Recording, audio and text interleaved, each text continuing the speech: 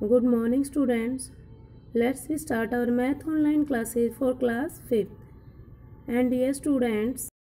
और exercise four point one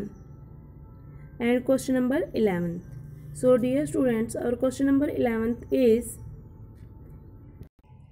and a person bought three properties एक व्यक्ति है जो तीन प्रॉपर्टीज़ खरीदता है और उनकी कोस्ट दे रखी है हमारे पास यहाँ पर।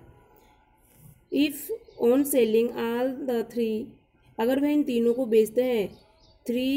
he earn a profit तो वह प्रॉफिट कमाता है fifteen lakh seventy five thousand six hundred what was the selling price of the all the properties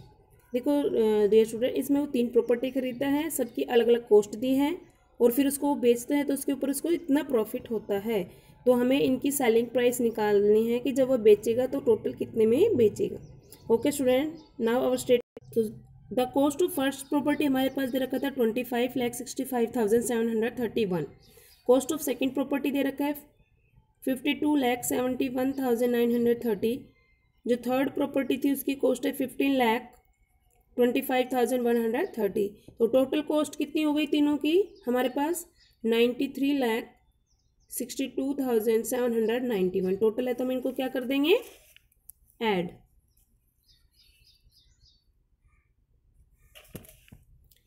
और हमारे पास उन्होंने दिखाया था कि अगर उसने उनको बेचा है तो कितना प्रॉफिट हुआ? On selling all of the three he earn profit उसने कितना प्रॉफिट कमाया है?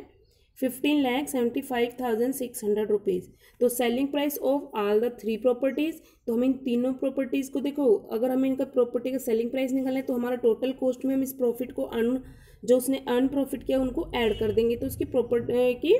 सेलिंग प्राइस निकल के आ जाएगी। ओके स्टूडेंट्स तो अब हमारे पास जो उसकी सेलिंग प्राइस आई तो हमने इनको ऐड कर दिया ninety three lakh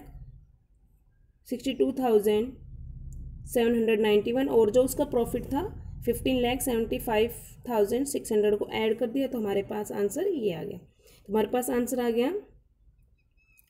one crore nine lakh thirty eight thousand three hundred ninety one rupees तो सेलिंग प्राइस ये थी। ओके स्टूडेंट्स तो आपने इस क्वेश्चन को अपनी फेयर नोटबुक में करना है।